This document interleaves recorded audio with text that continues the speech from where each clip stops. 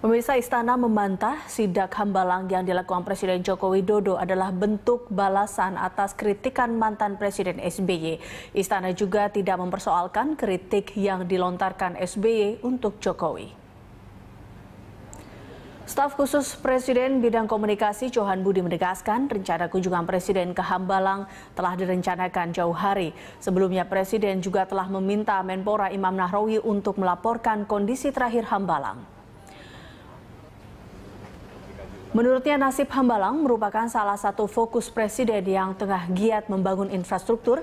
Karena itu Presiden ingin memastikan agar proyek Hambalang tidak sia-sia dan bisa segera dimanfaatkan. Presiden telah menginstruksikan Menteri Pekerjaan Umum dan Perubahan Rakyat untuk mengkaji topografi dan kondisi bangunan. Bila selesai diaudit, Presiden akan memutuskan nasib kawasan pusat pelatihan dan pengembangan olahraga tersebut.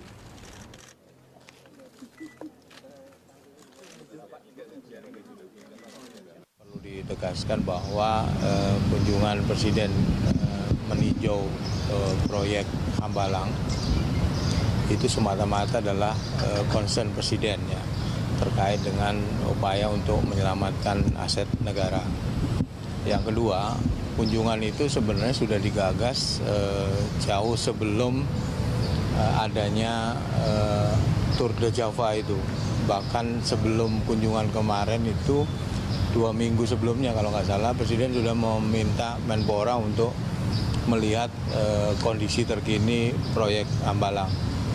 Di dalam 2016 ini teman-teman kan sudah melihat bahwa fokus eh, apa Presiden dalam konteks eh, akselerasi pembangunan kan di infrastruktur ya, sehingga eh, kunjungan ke Hambalang itu adalah bagian dari eh, akselerasi itu sendiri.